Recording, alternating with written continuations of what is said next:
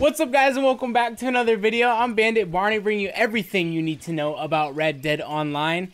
And thanks to you guys in the comments uh, coming through yesterday and letting us know about an idea that makes it so much more effective to go hunting, which is start a stranger mission and then run the clock on that mission.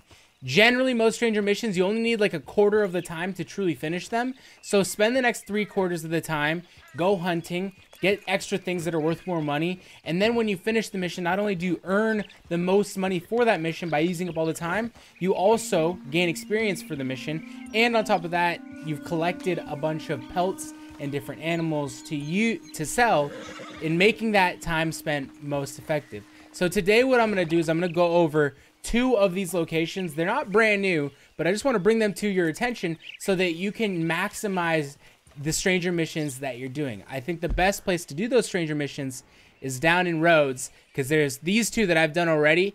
They, they're such great stranger missions and you can get hunting missions from both of them, which is the optimal mission to get. But if you want to know more about that, yesterday's video is going to tell you more. I'm going to show you two locations that you can quickly utilize to get the most out of the hunting when you do finish the first portion of the Stranger Mission. And the first one is going to be right over here at Ringneck, I think Creek?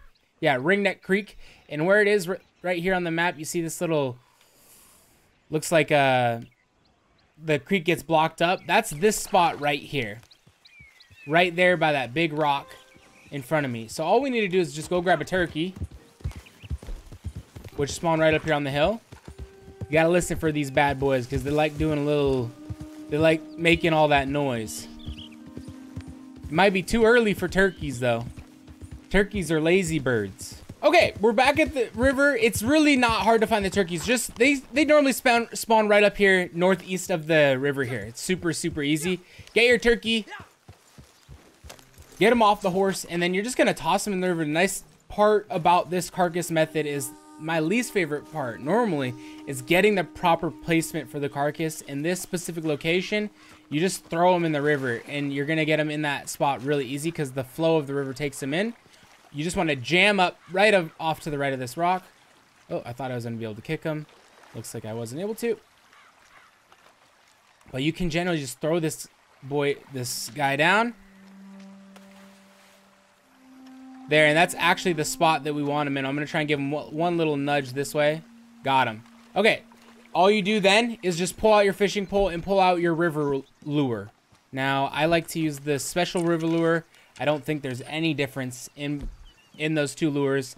It is good to note that you can at times get different types of fish by pulling out different lures, but in this specific location, that doesn't apply. You can only get the river lure fish here.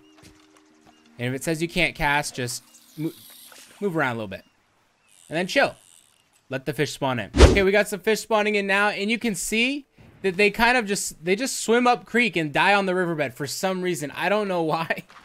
This is not tradi uh, traditional behavior from fish in a river. Generally, they stay in the water, but these guys probably aren't supposed to be here, and we're getting them by pulling out the fishing pole. Normally, you don't see any fish just around here unless you have your pole out so we kind of got him tricked. And then the ones that do make it down, are that guy's already dead, huh? He's already dead. Now, when you see three or so build up on the riverbed there, just go over and collect. And then especially there's this near side of the riverbed that you can't really see very well from this angle. You'll get fish there too. I'd say it takes you probably about five minutes in this location, two runs of picking them up to get 10, and that's the max you can get, is $20 worth. You get smallmouth bass, you're not going to get anything else. And the smallmouth bass 10 each. You get six per run 20 bucks. So it looks like i maxed out this. Gonna put the pole away and pick them up. Quick five minutes 20 bucks. Now this river works particularly well if we pull out the map. Sometimes you'll get three different kinds of missions here. You'll get deliveries uh, hunting missions and rescue missions from Alden and Trelawny. Those are the main ones you'll get from those guys. It'll either take you up towards Emerald Ranch, down around in this uh, Braithwaite Manor area, Bolger Bolger Glade, Glade, and or you'll go over like around in this area. So this fishing spot is gonna work really well if this side mission or stranger mission takes you north. That's what this one is going to benefit you the most for. The other one we're going to go over is going to be on the southern side, which is just a more all-around better um, hunting area, you're going to earn more money ultimately there. Um, but this one is super convenient because it's very simple and you all you're just like you don't do anything, bro. You just sit here and throw the pole in. Like if fishing was this easy in real life, this would be the primary source of food for the entire population of the world. It's just too easy. So we got 10 of those. Let's make sure 10. That's going to come out to 20 bucks. Let's pick our turkey up all soggy and gross. But she's still a three star and stick her on my nasty horse that's carrying around dirty pelts all day. And then we're to make our way south. We're to go down into this area. Now, there's a panther that'll spawn in this area over here. But panthers generally spawn more in the evening. So we might need to wait till evening to do that. But we can get these birds that come along this area. So I'm to head down here. And if I see a deer along the way, I cap it, I put it, I skin it, I grab it, you know. This is this is all about hunting, you know, getting that those useful things. Using your 15 minutes from that side mission as best as possible. That's why we're coming over here. There's some deer over in this area that we can hunt if we're heading north.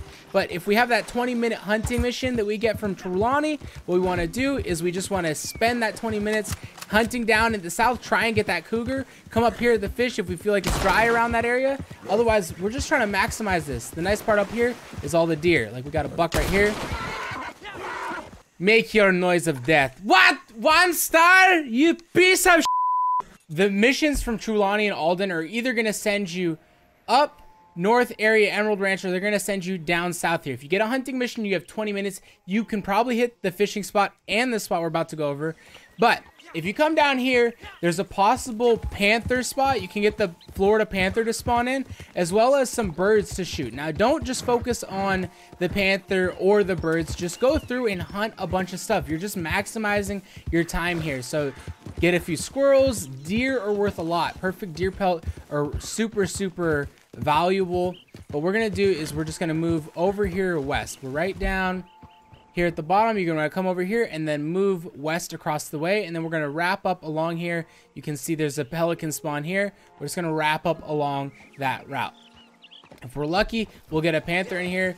You don't always get them though. They're they're one of the more rare animals to spawn in. So if you don't get one, don't feel too bad about it. And you just want to get like, let's say we got a deer here. Now hunting in these trees is hard when it's not when you're hunting the deer and not the panther. The panther runs at you. The deers run away from you. They can be a little bit difficult. Uh, that's so if you're gonna hunt deer, basically the point is if you're gonna hunt deer, this isn't the best place to get them, even though there's a ton of them, because they're kind of hard to shoot. At least for me. Maybe you'll have a little bit better luck. I'm not the best shot, so it becomes a little bit more difficult for me to get them in this area. Okay, we got our deer.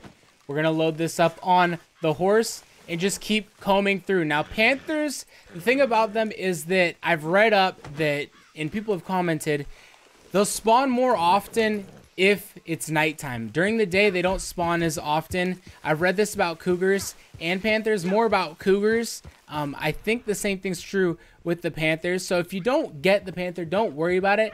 They're valuable if you can get, but they're also, you could waste a lot of time just trying to get a panther and end up getting empty. So you just hunt this other stuff that's going to be super easy for you.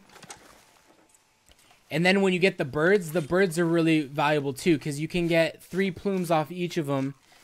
If you run the route, you can probably get two to three birds each time, no problem. That I'd say that's the general spawn rate of them. And when you combine that with running the side mission at the same time, you're just going to earn so much more and it really maximizes the hunting with this being such a good route. If you get the Panther, it's basically a jackpot route. All right, now what you want to do is head back. Probably you're going to finish your objective at this point if you're running a side mission. Uh, if you ha if, if you want to try and go back and see if you can get the Panther, that might be worth a shot. But I honestly, I just think at this point, getting the um, deer now, if you can find a perfect deer carcass on your way back, that's optimal. The perfect deer carcass is worth seven bucks.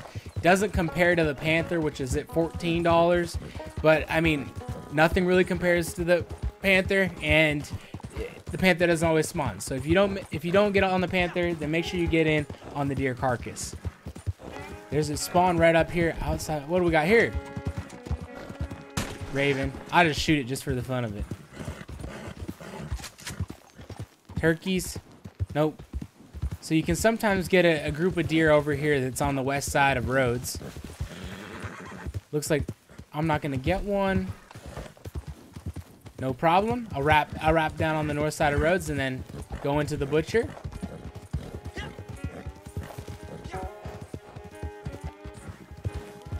No deer. Sometimes there's deer there, but more often than not there isn't. All right, so we're gonna go to the butcher and we're gonna get an easy 20 from the river with the smallmouth bass. If we are able to get a panther in that spot, we're gonna pull in 14 plus seven for the pelt. Other than that, you're gonna get all these bird plumes. So it looks like we got pelican feathers. Those are $1.20. That's pretty good. This is from the turkey, the gamey bird meat. Lucky this is popular. Uh, the plumes from the heron is worth Three dollars total. Two is one fifty each. I don't know why I made that so confusing. You got your squirrel. Here's the smallmouth bass. That's gonna net you twenty. Deal. Flight feathers. I don't need to sell those. The exotic bird meat. That those are from the pelicans, I think. Wait, are they? I'm not sure what they're from. Oh no, the plump bird meat is what you're gonna get from the turkeys. Coyote there. Turkey feathers worth basically nothing, but if you're gonna do the fishing method, you might as well take the feathers from it. We got our deer venison here. Deal. Cormorant. Cormorant feathers, $1.20 each. Just like the heron. And then you're going to get good deer pelt. I, I didn't go for a perfect deer carcass. Fox, nice. Then we got our pelican and our heron. So, guys, when you're doing... Ooh! And that's going to be worth a lot there, too. When you're doing the side mission method and you're going around hunting In Rhodes is a great place to do that. And when you're in Rhodes, make sure you go north to the Ringneck River. That's a great place to jump in there and get your $20 worth of fish. It's right north of Rhodes, so close. And then if you have the chance travel south down around here, get the birds along this edge and pick up the panther. That's going to maximize what you can do with those side missions. Appreciate your guys' time. Thank you for the recent support on the channel growing daily and we got daily content for you. If you're not subbed already, make sure to subscribe. Thank you, and I hope to see you in a future video. Take care.